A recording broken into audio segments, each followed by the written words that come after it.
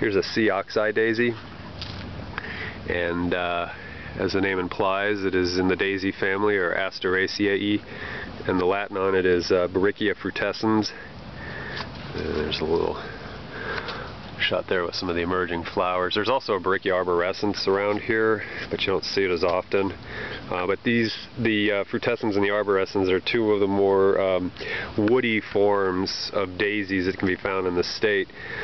Uh, and there's there are things in the daisy family that can be huge trees too, which is kind of funny when most daisies are just little petite things that grow on the ground and and a lot of them are annuals. But uh, this one I believe stays perennial. Um, I don't ever see big die-offs on the plants.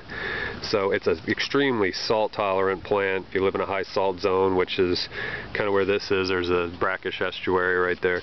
Uh, this is a choice plant, gives you color. Uh, the, even the, the leaves are nice, they're kind of bluish or not quite blue, but sort of a silvery glaucous color. So uh, sea oxeye daisy, and it's Borrichia frutescens, and it's certainly a worthwhile thing to have in your landscape if you have the right uh, conditions for it.